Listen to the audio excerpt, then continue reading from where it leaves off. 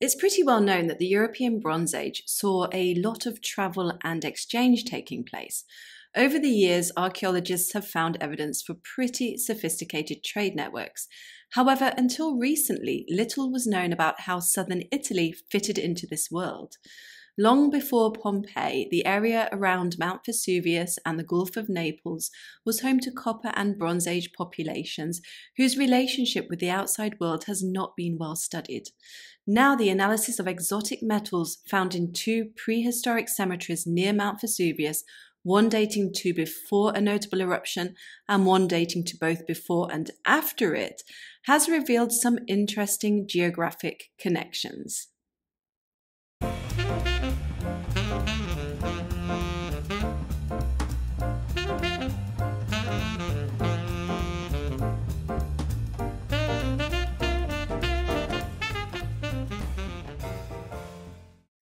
The plain close to the Gulf of Naples was very fertile during the Copper and Bronze Ages due to its volcanic soils, which were mostly made up of ash from Mount Vesuvius and the Phlegraean Fields complex.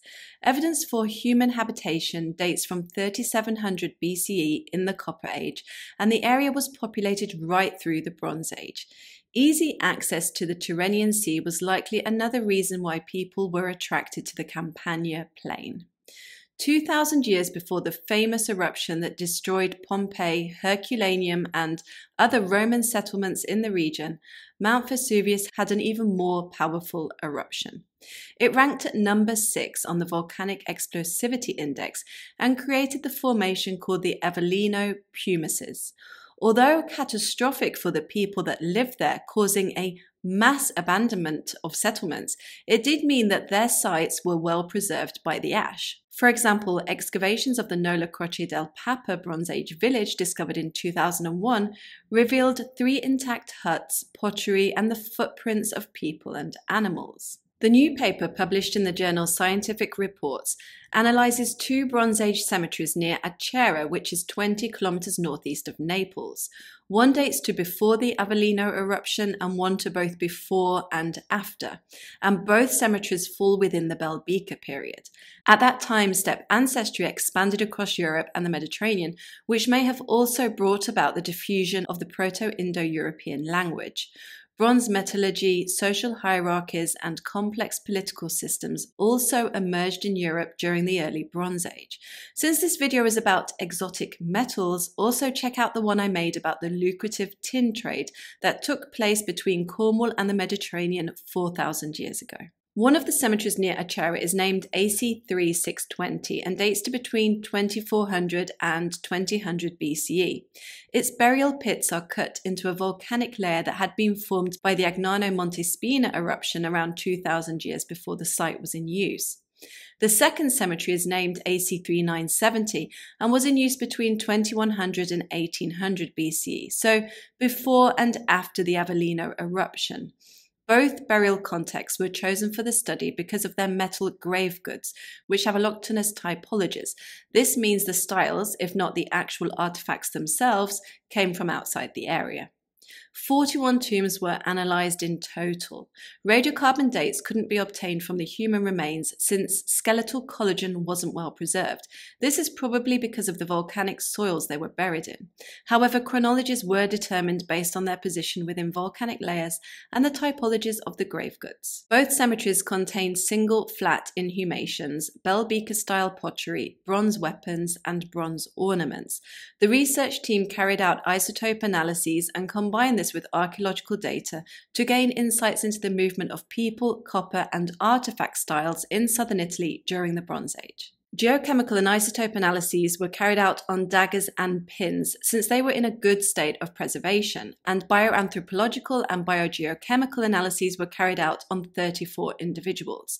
All of the metal objects were found to be made of tin copper alloys, with none being made purely of copper or arsenical copper.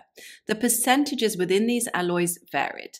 Here you can see images and drawings of the daggers and pins recovered from the older cemetery. The chemical composition of the samples from both cemeteries were mapped out. In order to determine the provenance of the copper, lead isotope ratios were measured and compared with a comprehensive database of copper mineral deposits. As I've said in many previous videos, copper sources are widespread, tin deposits are not. In this study, only the provenance of copper was analysed. Most objects displayed isotopic signatures that overlapped with deposits from southern Tuscany. The provenance of the ore used in four daggers, two from each cemetery, was difficult to determine with any certainty. Nothing in the database was a match, but it does open up the possibility that sources were mixed or that recycling had taken place.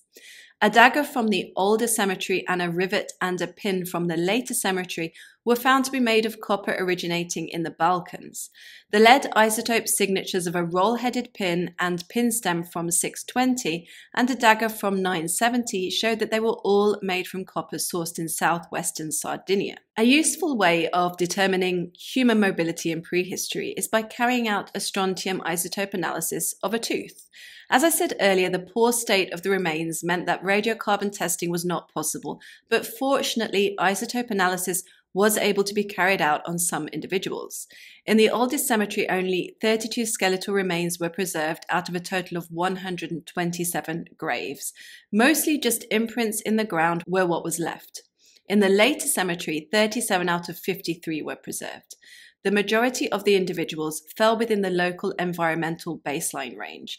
This had been determined by collecting animal, soil, and water samples from within a 20 kilometer radius of the site. One individual from 620 and four individuals from 970 were identified as non indigenous, and these four from the later cemetery were all from the pre eruptive phase. However, the isotope analyses of these non indigenous individuals were still compatible with the wider regional baseline, meaning that their origins were not from that far away. This is quite the contrast compared with the artifacts, whose typologies are to be found in continental Europe and to a limited extent in northern Italy.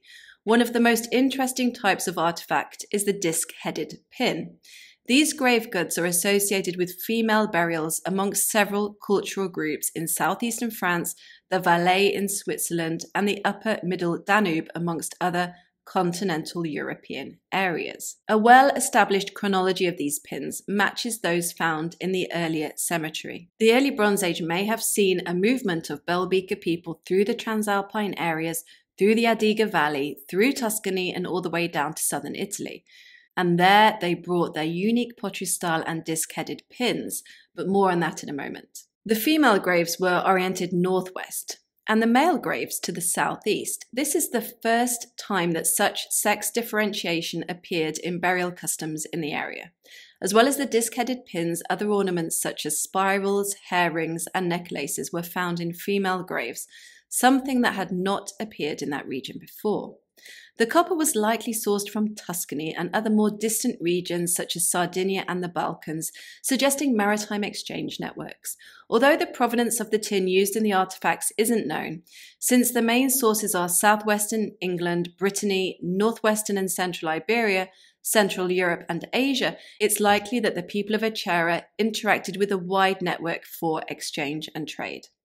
The authors of the paper suggest that the Campania plain could have been a hub where raw materials such as copper and tin were imported to be made into bronze artifacts, the styles of which had travelled southwards from the Transalpine region. However, there's little evidence for metal workshops in the area. Ingots, scrap metal, and unfinished products are much more common in northern Italy so it's more likely that the actual artifacts rather than simply the styles travelled south. Evidence for the remodelling of some of the artifacts also suggests this may have been because of a lack of metal workshops or technological limitations in Campania. In this scenario, Tuscany was a hub, directing the flow of artifacts from the north to the south, where local groups adopted them as status symbols. These local groups also adopted new funerary practices, slowly changing their cultural identity and displaying their material wealth. So here we're seeing a movement from north to south of ideas and artifacts rather than the people themselves. I've talked a lot on this channel about Bronze Age trade networks because every year there are new papers published which outline evidence for long distance exchange at that time. What interests me is just how that was made possible, especially in areas that didn't have a writing system yet. Just how was trade and exchange organized? Who was responsible for it? And what did exotic materials and artifacts really mean to a local community?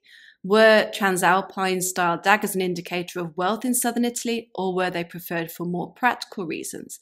And why did they adopt foreign funerary customs? I also wonder how much was transported over land and how much by water. Without modern maps, how did they know where they were going?